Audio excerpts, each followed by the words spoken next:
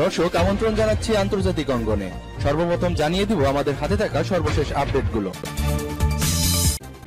ইরানের সর্বোচ্চ নেতা বলেছেন, দেশের কোনো পরিকল্পনা পশ্চিমাদের উপর নির্ভর করে বাস্তবায়ন করা যাবে না, কারণ তারা প্রতিশ্রুতি ভঙ্গকারী।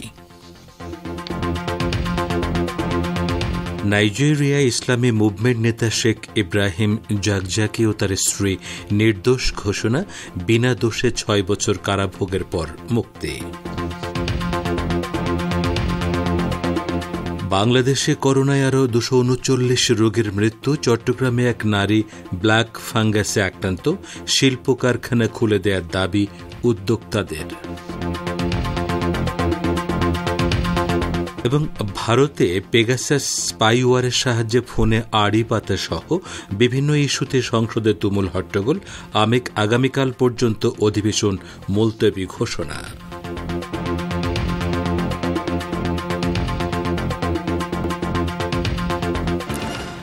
আসসালামু আলাইকুম।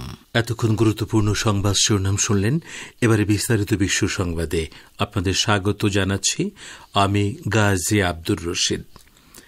ইসলামী প্রজাতন্ত্র ইরানের সর্বোচ্চ নেতা বলেছেন, দেশের অভ্যন্তরীণ কোনো পরিকল্পনাকে পশ্চিমাদের সহযোগিতায় বাস্তবায়ন করতে গেলে তা নিশ্চিতভাবে ব্যর্থ হবে।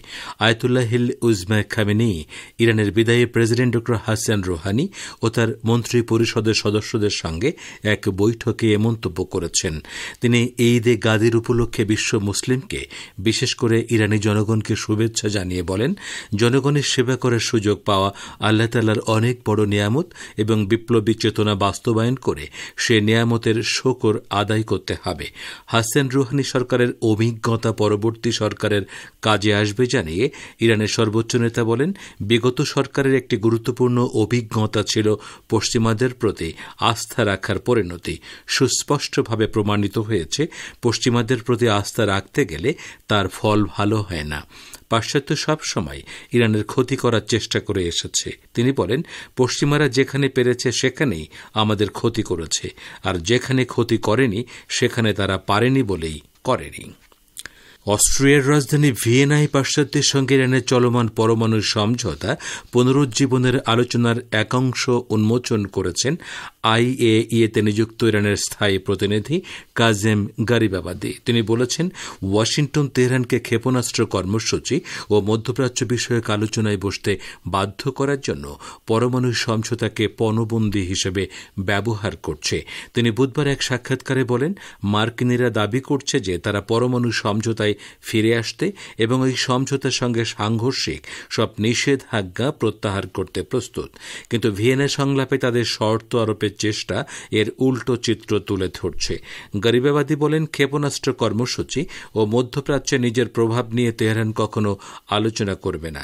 ইরানের এই কূটনীতিক বলেন আমেরিকা এখন পর্যন্ত তার দেশের উপর থেকে নিষেধাজ্ঞা প্রত্যাহার করতে এবং সাবেক মার্কিন প্রেসিডেন্ট ট্রাম্পের মতো পরমাণু সমঝোতা থেকে আবার বেরিয়ে না যাওয়ার গ্যারান্টি দিতে অস্বীকৃতি জানিয়েছে। সিরিয়ার প্রেসিডেন্ট বাশার আল আসাদ ইরানকে তার দেশের প্রধান সহযোগী উল্লেখ করে বলেছেন, সন্ত্রাসী গোষ্ঠীগুলোর মূলোৎপাটন পর্যন্ত দুদেশ যৌথভাবে সন্ত্রাসবাদের বিরুদ্ধে লড়াই চালিয়ে যাবে। সিরিয়া সফরত ইরানের সংসদ স্পিকার মোহাম্মদ বাকের কলিবফ বুধবার দামেশকে প্রেসিডেন্ট আসাদের সঙ্গে সাক্ষাৎ করতে গেলে তিনি এ মন্তব্য করেন। তিনি বলেন, সন্ত্রাসবাদের বিরুদ্ধে যুদ্ধে ইরান সত্যিকার অর্থে সিরীয় জনগণের পাশে দাঁড়িয়েছে এবং সর্বাত্মক সহযোগিতা দিয়েছে। সিরিয়ার প্রেসিডেন্ট বলেন, সন্ত্রাসবাদের বিরুদ্ধে দুদেশের যৌথ যুদ্ধ ইতিবাচক ফল দিয়েছে এবং সন্ত্রাসী গোষ্ঠীগুলোর হাত থেকে সিরিয়ার প্রতি ইঞ্চি ভূমি পুনরুদ্ধার না করা পর্যন্ত এ যুদ্ধ চলবে। সাক্ষাতে ইরানের সংসদ স্পিকার তার দেশের পাশাপাশি সিরিয়ায় অনুষ্ঠিত সাম্প্রতিক প্রেসিডেন্ট নির্বাচনের প্রতি ইঙ্গিত করে বলেন, এসব নির্বাচনে ইরান ও সিরিয়ার জনগণ প্রমাণ করেছে। চাপ প্রয়োগ করে তাদেরকে কাবু করা যাবে না।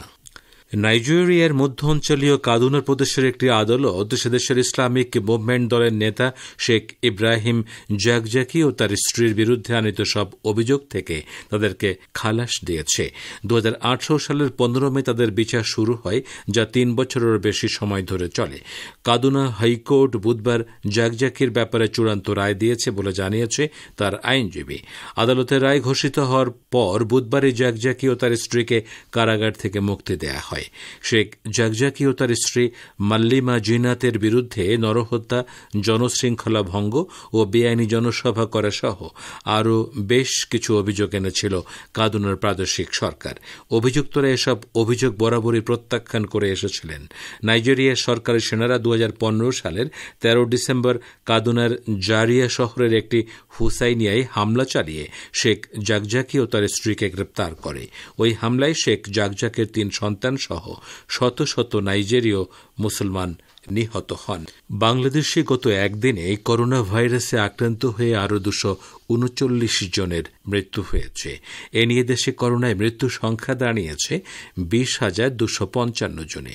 এদিকে চট্টগ্রামে এক নারী করোনায় আক্রান্ত হয়ে সুস্থ হবার পর তার শরীরে ব্ল্যাক ফাঙ্গাস শনাক্ত করেছেন চিকিৎসকরা। এ সম্পর্কে আরও জানাচ্ছেন ঢাকা থেকে আমাদের বিশেষ সংবাদদাতা। বাংলাদেশে আজ সকাল আটটা পর্যন্ত গত চব্বিশ ঘন্টায় করোনা ভাইরাসে আক্রান্ত হয়ে আরও দুশো উনচল্লিশ জনের মৃত্যু হয়েছে। এ নিয়ে দেশে করোনায় এ যাবৎ মৃত্যুর সংখ্যা দাঁড়িয়েছে বিশ হাজার দুশো পঞ্চান্ন জনে। আজ বৃহস্পতিবার স্বাস্থ্য অধিদপ্তর থেকে পাঠানো করোনা বিষয়ক নিয়মিত সংবাদ বিজ্ঞপ্তিতে এসব তথ্য জানানো হয়েছে। ওদিকে ব্ল্যাক ফাঙ্গাস বা কালো ছত্রাক রোগ আস্তে আস্তে ছড়িয়ে পড়ছে বাংলাদেশে। চট্টগ্রামের পটিয়া উপজেলার বাসিন্দা ষাট বছর বয়সী ফেরদৌসি বেগম নামে এই নারী করোনায় আক্রান্ত হয়ে সুস্থ হবার পর তার শরীরে ব্ল্যাক ফাঙ্গাস শনাক্ত করেছেন চিকিৎসকরা। চার দিন ধরে তিনি চট্টগ্রাম মেডিকেল কলেজ হাসপাতালে চিকিৎসাধীন রয়েছেন। এই নারীর স্বামী পাঁচ দিন আগে করোনায় সংক্রমিত হয়ে মারা গেছেন। এর আগে গত মে মাসে রাজধানীর বার্ডেম হাসপাতালে প্রথম একজন রোগী ব্ল্যাক ফাঙ্গাসে আক্রান্ত হয়ে মারা যান, তার পরিচয় জানানো হয়নি। এছাড়া ভারতে গিয়ে মহামারী করোনা ভাইরাসে আক্রান্ত হবার পর সুস্থ হয়ে দেশে ফিরেছেন এমন অন্তত দুজনের শরীরে ব্ল্যাক ফাঙ্গাস শনাক্ত হয়েছে। মে মাসে রাজধানীর বার্ডেম হাসপাতালে তাদের শরীরে ব্ল্যাক ফাঙ্গাস শনাক্ত হয়। চিকিৎসকরা জানিয়েছেন ব্ল্যাক ফাঙ্গাস হলো এক ধরনের বিষাক্ত ছত্রাকের সংক্রমণ। করোনা থেকে সেরে ওঠা নাজুক রোগীরাই এই ছত্রাকে বেশি আক্রান্ত হচ্ছেন। আক্রান্ত রোগীদের মধ্যে নাকের উপরে কালো ছোপ, দৃষ্টিশক্তি কমে আসা, বুকে ব্যথা, শ্বাসকষ্টের মতো সমস্যা দেখা দিচ্ছে। Abdur Rahman Khan, radio Tehran Dhaka. মহামারী করোনা প্রতিরোধে চলমান কঠোর বিধিনিষেধের মধ্যে তেইশ জুলাই থেকে বন্ধ রয়েছে বাংলাদেশের গার্মেন্টস সহ সকল কলকারখানা এ পরিস্থিতিতে শিল্প উদ্যোক্তা ও ব্যবসায়ীদের শীর্ষ নেতারা তাদের হতাশার কথা জানিয়ে উৎপাদনমুখী সব কলকারখানা দ্রুত খুলে দিতে সরকারের প্রতি আহ্বান জানিয়েছেন। এ প্রসঙ্গে আজ সচিবালয়ে মন্ত্রিপরিষদ সচিব খন্দকার আনোয়ারুল ইসলামের সঙ্গে বৈঠক করেছেন ব্যবসায়ীদের শীর্ষ সংগঠন, এফবিসিসিআই তৈরি পোশাক উৎপাদক রপ্তানিকারকদের সংগঠন বিজিএমএ ও ঢাকা চেম্বার্স সহ বিভিন্ন সংগঠনের নেতৃবৃন্দ।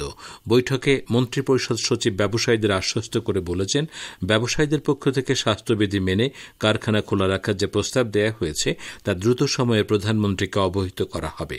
প্রধানমন্ত্রীর পরামর্শক্রমে পরবর্তী সিদ্ধান্ত আসবে।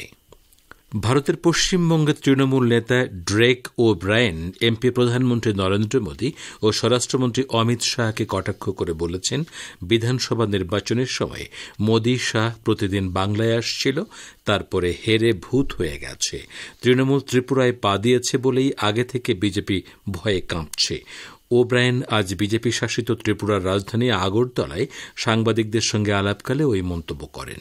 ওব্রায়েন বিজেপি ও প্রধানমন্ত্রী নরেন্দ্র মোদী ও স্বরাষ্ট্রমন্ত্রী অমিত শাহের সমালোচনা করে বলেন, এটা শুধু এখানে নয়, সারা ভারতবর্ষে যা আরম্ভ করেছেন মোদী শাহ, সেটা খুবই গুরুতর বিষয়।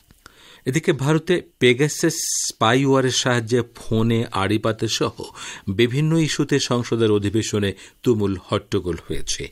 আজ সংসদের উভয় কক্ষের কার্যক্রম আগামীকাল শুক্রবার পর্যন্ত মুলতবি ঘোষণা করা হয়।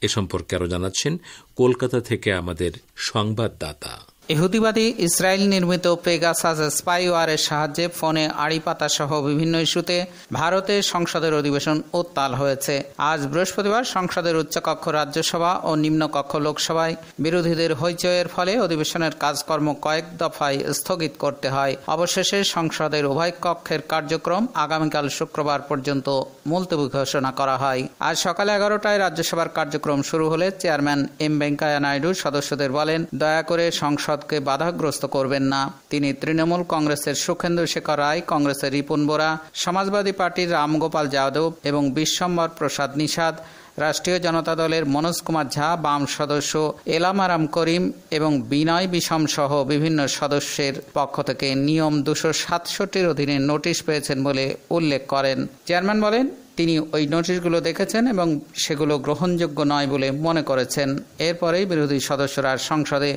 ব্যাপক হইচই ও হট্টগোল শুরু করেন। এর ফলে সংসদের কাজকর্ম ব্যাহত হয়। Abdul Hakim, radio Tehran, Bharat. বলছিলেন, কলকাতা থেকে আমাদের সংবাদদাতা। পাকিস্তানের প্রধানমন্ত্রী ইমরান খান বলেছেন, আফগানিস্তানের পরিস্থিতি আগে থেকে খারাপ ছিল এবং আমেরিকা যথাযথ অর্থেই এই পরিস্থিতিকে আরও খারাপ করে রেখে গেছে।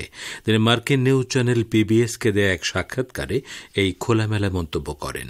তিনি বলেন, তালেবানের সঙ্গে তখন আলোচনা করতে হতো যখন আফগানিস্তানে ন্যাটো জোটের দেড় লাখ সেনা মোতায়েন ছিল। ইমরান খান বলেন, এখন যখন দশ হাজারেরও কম সেনা রয়েছে এবং তাদেরও চলে যাওয়ার তারিখ চূড়ান্ত হয়েছে। তখন তালেবানকে রাজনৈতিক সমঝোতায় বাধ্য করা দুরূহ ব্যাপার, কারণ তালেবান এ যুদ্ধে নিজেদেরকে বিজয়ী ভাবছে। দুই সপ্তাহ আগে আফগান প্রেসিডেন্ট মোহাম্মদ আশরাফ গনি অভিযোগ করেছিলেন। সাম্প্রতিক সময়ে পাকিস্তান থেকে প্রায় দশ হাজার জঙ্গি আফগানিস্তানে প্রবেশ করেছে।